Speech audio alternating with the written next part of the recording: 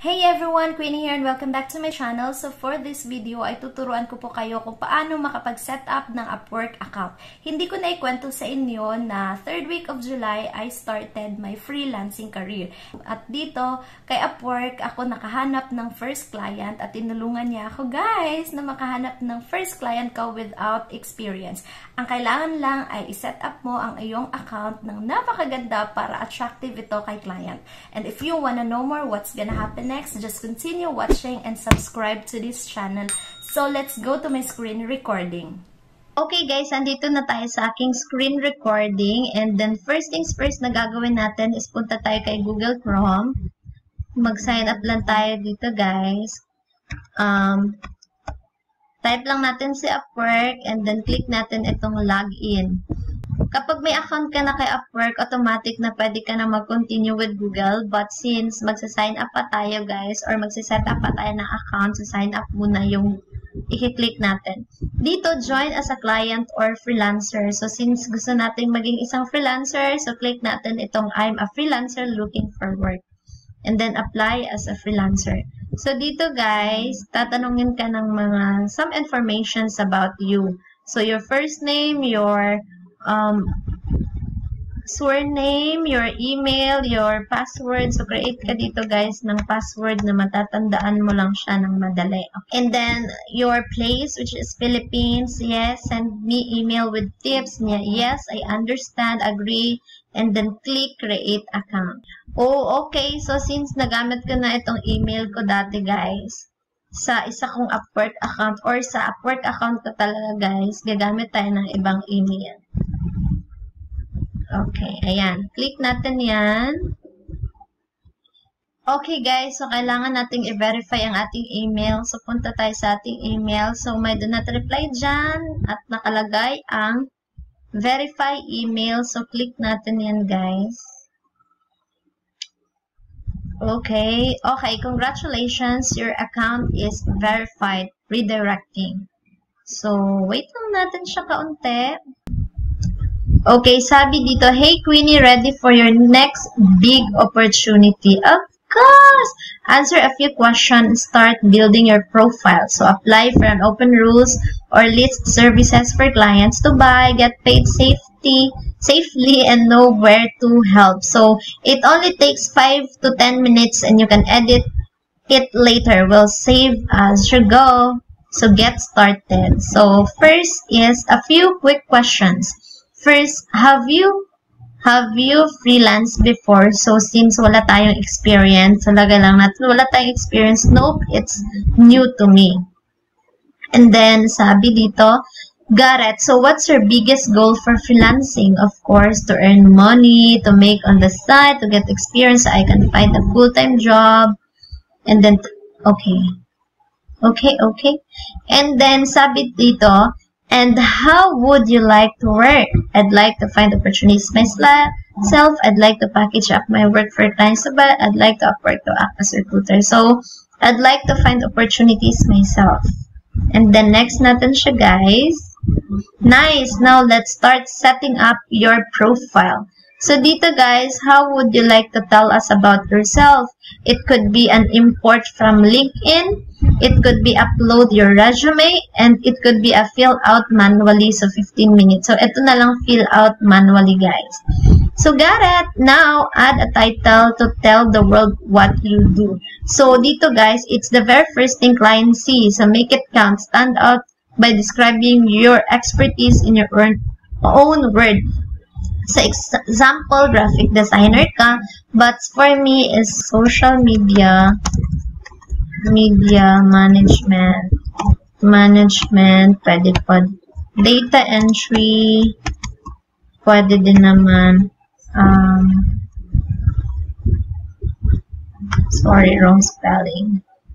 Data entry, pwede din naman, um, email management, So, guys, i-put nyo lang lahat dito kung ano yung mga expertise nyo.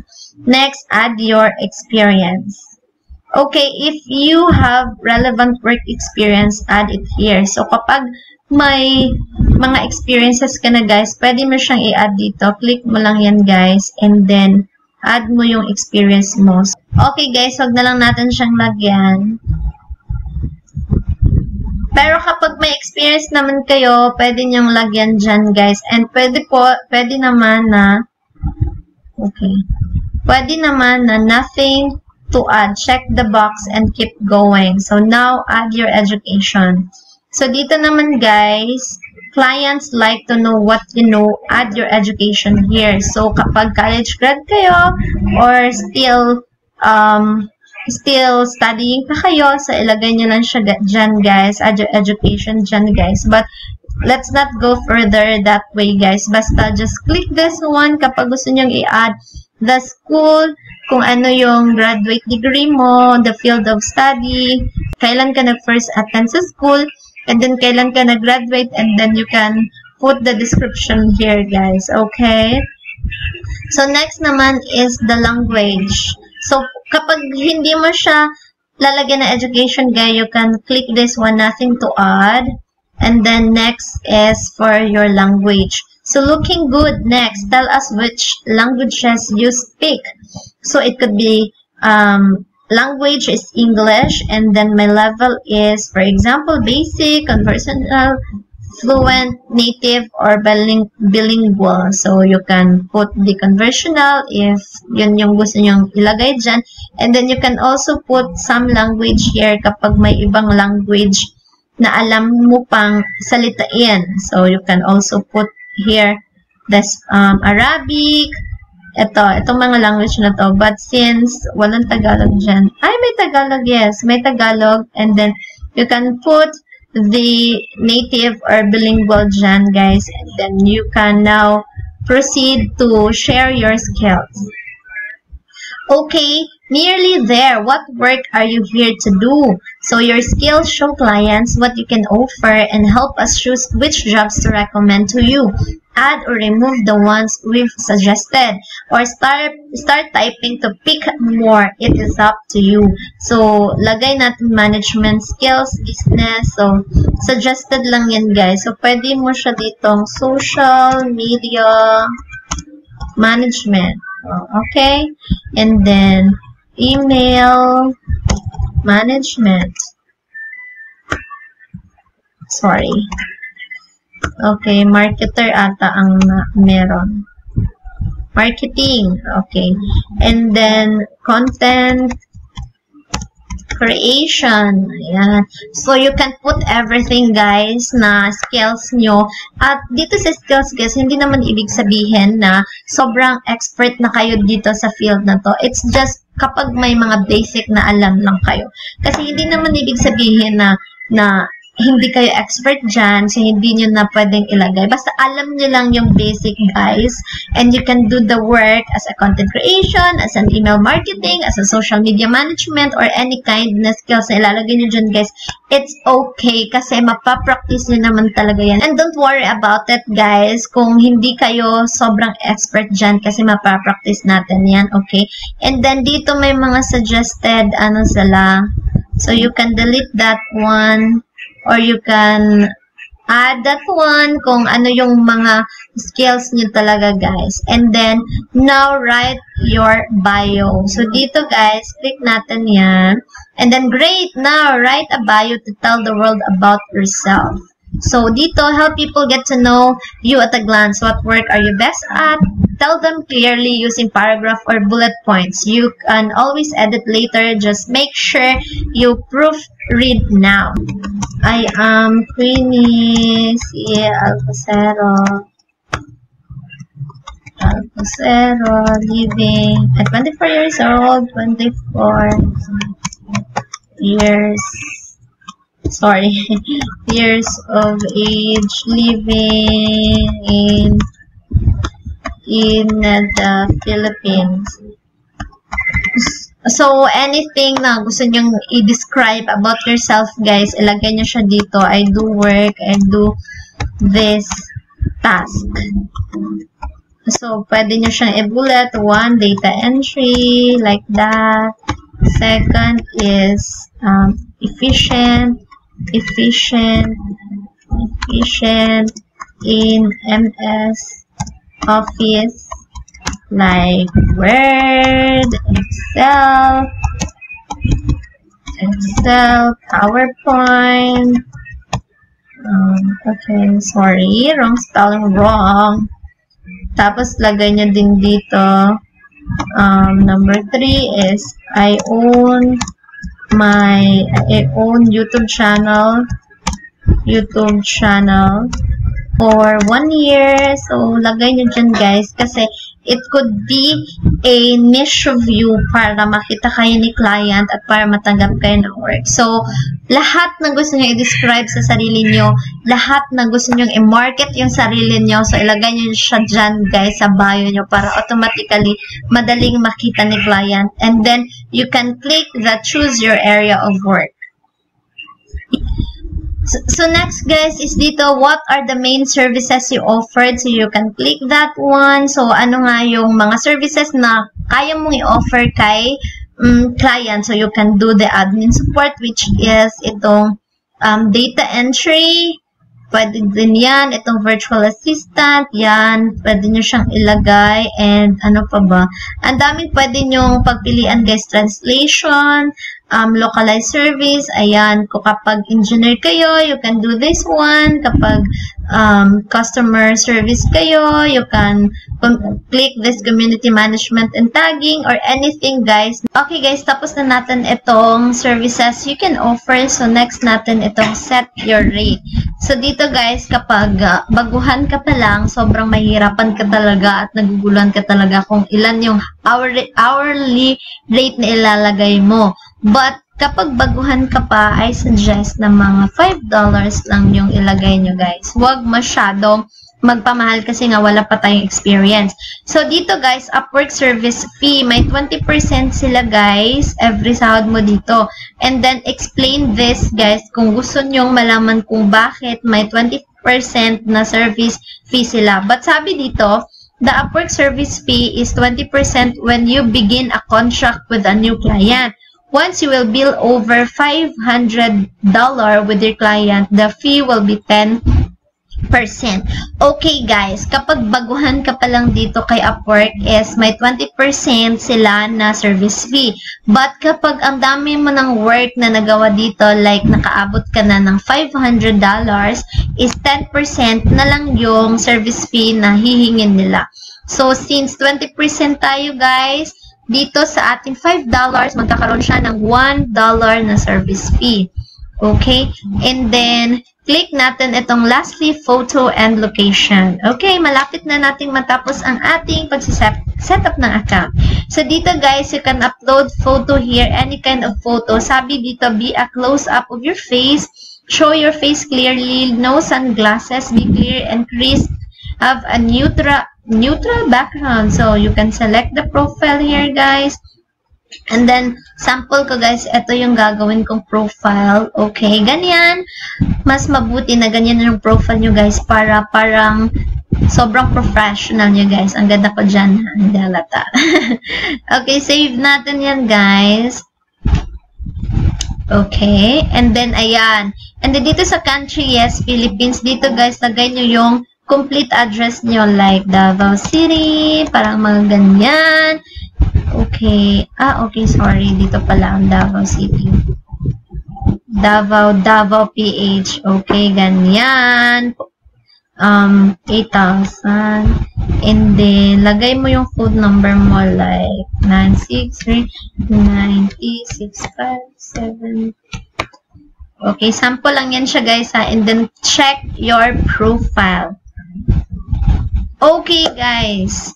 Dito na tayo, guys. Dito may up, submit profile. So, since may Upwork account na ako, and then hindi pwedeng mag-double yung Upwork account ko, so hindi natin siya isa-submit profile, but this one, guys, ipapakita ko lang sa inyo kung ano yung overall view ng ginawa natin pag-setup ng account.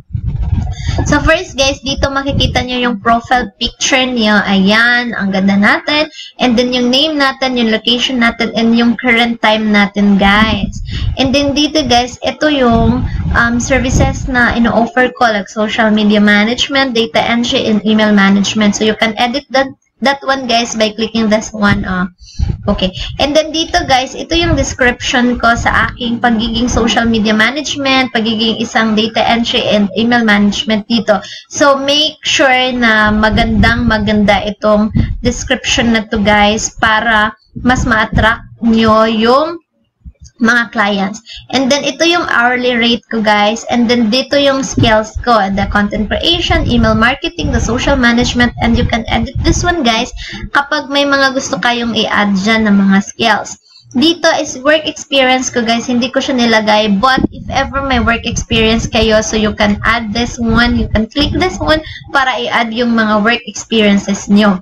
And then, education history nyo naman, guys. Dito, pwede nyo rin i-add ang education nyo kung anong degree yung natapos nyo, anong bachelor's degree, nag-masteral ba kayo, nag-doctorate, or anything na pwede nyo ilagay sa educational history nyo. And then, dito naman sa ibabaw, guys, dito, this is your location. You are currently in Davao City. Yes, because I'm in Davao City. The language that I know how to speak is English and Tagalog. In English is converse, conversational ako. In Tagalog is native or bilingual kasi nga ito yung sarili kong pag may Bisaya dyan, yes, kaya ko din. And then, yun na nga guys, isasubmit profile nyo siya after nyo makomplete lahat. But since hindi ko siya isasubmit profile, is it because may profile na ako dito kay Upwork. Okay guys, so ipinakita ko lang talaga sa inyo kung paano mag-set up ng account dito kay Upwork. And then guys, after that guys, gusto ko lang i-share sa inyo kung ano yung itsura ni Upwork kapag may sariling account na kayo. then, continue lang natin itong with Google since meron na akong sariling Upwork. Ayan.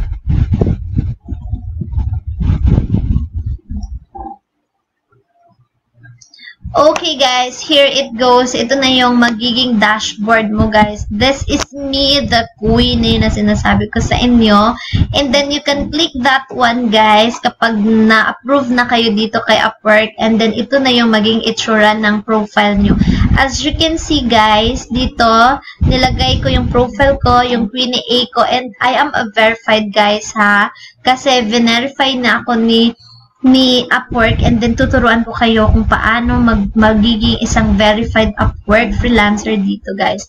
And then ito yung um, ito yung sariling profile ko guys. Ito yung all profile ko guys as a social media marketing and email marketing and a data entry. And then $4 yung um, hourly rate ko. And then dito guys, ito yung description na ginawa ko guys. Sobrang quick lang niya pero inalagay ko lahat yung mga kaya kong gawin. And then dito guys, may sariling profile din ako sa data entry. And then may sariling profile din ako sa social media marketing ko guys. Dito sa sa baba naman may total earnings na ako na $5 and one job na yung natapos ko guys. And then sobrang bilis ko lang talaga nakahanap ng client. So ito yung overall profile ko guys. Work history ko guys, wala pa, hindi ko siya nilagay, but lalagyan natin siya later. The portfolio, guys, ito yung mga sample portfolios ko kasi para mas ma-track yung mga client ko. And then, ito yung skills na kaya kong gawin. And then, the industry that I'm in. Ayan. Ito yung education ko, verification, lahat, guys, nandyan na siya. Ito yung magiging itsura ng platform ni Upwork, guys. And then, dito, you can click the find work, guys and then you can search the social media media management or any kind na pwede nyong i-search dito na angkop sa skills nyo guys sa services na gusto nyong i-offer kay client. So, ang dami dito. As you can see, there are 10,294 jobs na pwede mo excuse me, na pwede mong applyan dito kay Upwork. So, sobrang ganda ni Upwork, guys. So, ayun lang, guys. Thank you very much for watching this video. I hope na may natutunan kayo. And the next video that we will going to tackle about is kung paano natin i-set up yung portfolio natin dito kay Upwork, guys, para mas attractive tayo kay client. And thank you so much for watching. Paalam. God bless. And see you sa ating next video.